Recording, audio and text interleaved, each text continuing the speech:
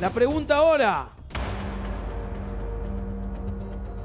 ¿Cómo se llama al cambio periódico del nivel del mar?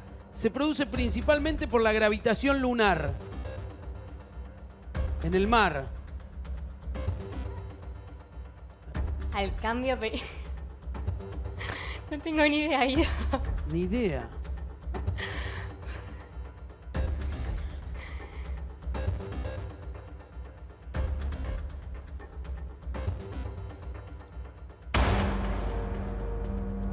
Para el cambio... peri- ¿Tiene algo que ver con la luna?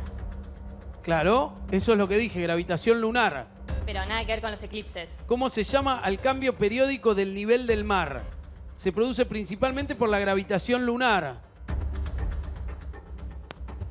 Em, marea. Correcto, perfecto. Ahí está, da el paso 3. Da el paso 3.